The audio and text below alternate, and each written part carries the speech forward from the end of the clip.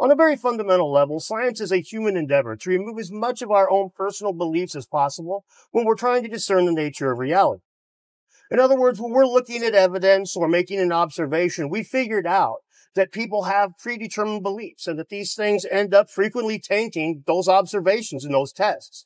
So we get multiple people with presumably different biases and different opinions to weigh in on these things together and then we can whittle out the things that seem to come from different camps of thought and that are just things that are generally agreed upon. Now, this doesn't always work. As a matter of fact, some areas are more tainted by humanity than others, but this is a human endeavor to remove humanity from our observation. So it is a little bit on the tricky side, but we do the best that we can. There are some areas, however, that are much worse about it than others, as longtime viewers of the channel will be well aware. The debate concerning the prehistory of humanity and a lot of the archaeology involved is extremely inflammatory. Lots of arguments, lots of different people getting crazy about this, with many of the debunkers engaging in some unethical behavior all the way down to personal attacks and, well, outright falsehoods. Now, this does make it kind of difficult for those of us that are interested in archaeology, but are skeptical of the archaeologists to trust them because we have learned that well, they don't always tell the truth, right? And this is kind of a sad thing, but it is the kind of thing that electrician Dan can cry about until he's blue in the face. I am a layperson. They do not give two craps what I think. But you hope that when scientists weigh in on this subject, that they would feel a little differently. They might look twice at. It. So we're going to talk about a couple of papers that were published very recently. One of them is a, a paper about ethics regarding the Younger Dryas impact hypothesis and the manner that many of the debunkers go about to debunk these. And the other one is discussing very specific data in a paper that was omitted in order to debunk that very same hypothesis. So let's talk about some science, guys. Hi, my name is Dan and welcome to DeDunking. Man, is it hot out here.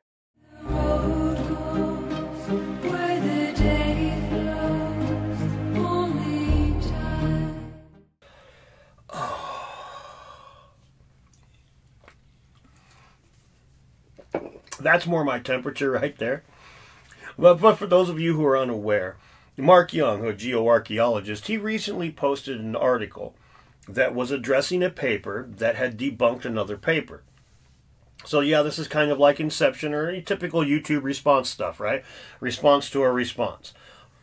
But the first paper in the chain was supporting the Younger Dryas impact hypothesis. And for those who are unaware, it's basically the hypothesis that a comet or several fragments of a comet either hit or burst right above uh, the ice pack on the northern hemisphere about 12,000 years ago, creating a bunch of flooding, killing off most of the megafauna, which are creatures over 100 pounds, uh, potentially destroying the Clovis culture, changing the environment heavily, ending the last ice age it's basically an explanation for a phenomenon known as the Younger Dryas. It's an explanation for the ending of that whole thing and for the changing of time, basically, at the end of the at the end of Younger Dryas, at the end of the last ice age, when we lose things like the saber-toothed tiger and we come into a more modern uh, group of flora and fauna. So the Younger Dryas impact hypothesis is supported by several scientists, but it's also not supported by several scientists, and it is it's hotly contested. There is no question about that. But Marc's paper, or Marc's article, excuse me, is addressing the fact that the paper, well, as he puts it, the paper is basically engaging in unethical behavior. I'll, I'll, I'll, I'll we'll just dig into it a little bit here. Now this gets very technical, but the debate here hinges on isotopic levels of platinum and the proposed origins of it in the record. One thing important to note is the paper debunking the impact tacitly acknowledges the higher levels of platinum at the outset of the Younger Dryas, but doesn't accept any correlation to a possible impact. Instead, it claims five volcanoes over the course of 4,000 years deposited this platinum, something Marc claims is basically impossible. He shows that only three volcanoes are demonstrable in the record, and that even if four volcanoes were found to have erupted in that time frame, it wouldn't exclude the possibility of the fifth set of markers being from an impact.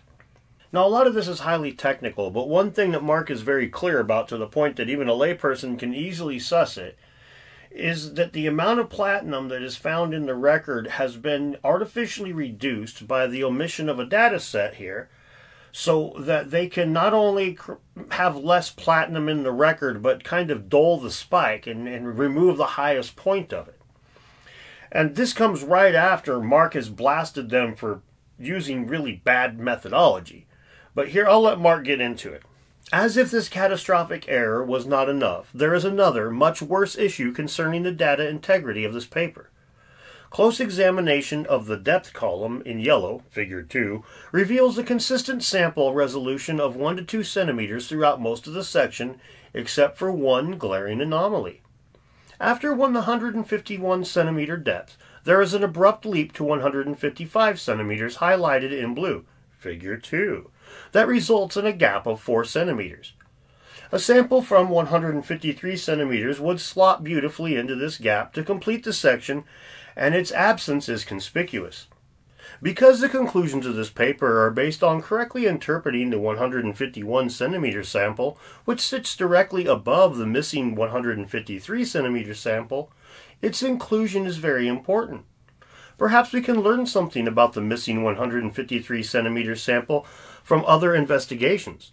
Luckily, the Younger Dryas border at Hall's Cave was examined for impact proxies by the Younger Dryas border team back in 2009, figure 4. So what did they find? The study, led by Dr. Thomas Stafford Jr. in collaboration with the early YDB team and whistleblower against this study, found a discrete peak of nanodiamonds, magnetic microspherules, carbon spherules, and biomass burning proxies in the YDB layer at between 151 and 153 centimeters, figure 4. So here we have a precedent that the layer containing these proxies at Hall's Cave occurred between 151 and 153 centimeters. The presence of multiple impact proxies between 151 and 153 centimeters demonstrates that the YDB at Hall's Cave can be found at that depth. Of course, this was only the case for the specific samples taken from the 2009 study, as explained earlier. 153 centimeter depth is not the only possible location for the Younger Dryas border, as the soil profile undulates. Basically, there's a whole layer that the debunkers just decided to omit from their data. That layer just happens to be one that undermines their position. Marc continues. Because Sun et al., which is the debunking paper, is ultimately devoted to testing the Younger Dryas impact hypothesis, it is unconscionable that the 153 centimeter sample was not included. So why is this important sample missing from the dataset? Well, perhaps if they found a large platinum spike in their 153 centimeter sample, including it in their data set would have complicated their interpretation of the 151 centimeter sample representing the Younger Dryas border for the reasons stated above. This would render their conclusions entirely unsupportable. Now, clearly, this is a big deal. A group of scientists trying to undermine another group of scientists by the omission of data. Well, that ain't science anymore, buddy, is it? No, that's that I, you could, could, could call it dishonest. Um, you could call it pseudoscience, is what I always say. And as I frequently say, there's no point to debunk pseudoscience. I got two hands free with my new mic, haha. There's no point to debunking pseudoscience with more pseudoscience. You're, you're pissing up a rope. You're wasting everybody's time. I'm going to educate the public, and then you don't educate anybody. You just fill their head with more falsehoods. So, it's something that I don't like very much. And the Younger Dryas impact hypothesis is a freaking hotbed of this. It is constantly subject to these kinds of attacks that are not scientific in nature. For example, we had the recent paper, The Refutation of the Younger Dryas Impact Hypothesis, or whatever, and it's a comprehensive refutation. And you got all these different people on board saying so much goofy shit that well, again, electrician Dan can cry about it all he wants, and well, just ignore me. But another scientist, a geologist, jumped in on it, and um, well, he had a couple of things to say. James Lawrence Powell is a geologist with decades of experience under his belt. He's nearly 90 years old now. Uh, he's very long in the tooth, but he's still sharp as a whip. In his recent paper, published in the Journal of Academic Ethics, titled Data versus Derision The Ethics of Language in Scientific Publication, the Younger Dryas Impact Hypothesis as a case study, we get numerous examples of the unscientific manner the debunkers have conducted themselves with. including the clearly divisive language employed in their published works. You know, right out the gate, Powell starts with Throughout the history of science, novel ideas that diverge from the mainstream thought have often been met with condemnation, derision, and ad hominem attacks. These reactions have sometimes led to the premature rejection of such ideas, only for them to be later revived and even accepted as the prevailing paradigm. While robust debate is essential in science, the use of derogatory language is unethical, for it discourages research on existing hypotheses, detours funders, corrupts the scientific record, and delays or prevents the advancement of science. In this article, I discuss the case of unethical language repeatedly used against proponents of the hypothesis that an extraterrestrial impact event triggered the Younger Dryas cool period. He doesn't hold back, does he? And he includes a number of quotes from other scientists who have condemned this sort of behavior before, including this quote from Carl Sagan. Science requires an almost complete openness to all ideas. Ad hominem arguments, arguments about the personality of someone who disagrees with you, are irrelevant. Powell makes a case for these people being pseudo skeptics, that is basically a fake skeptic, someone who considers an ideology more important than the actual evidence and actual skepticism. And I think that's a great term, actually. It's one that I would like to see employed even more, but I would point out this is still pseudoscience. When these guys say things that are factually incorrect, that's pseudoscience, okay? When they omit data, that is pseudoscience. Now, they might not be pseudoscientists, they might not do this in general, but when they step outside of their normal work and they decide to play debunker, it seems like these guys have a hell of a time not doing the very things they rail against and doing it wrong.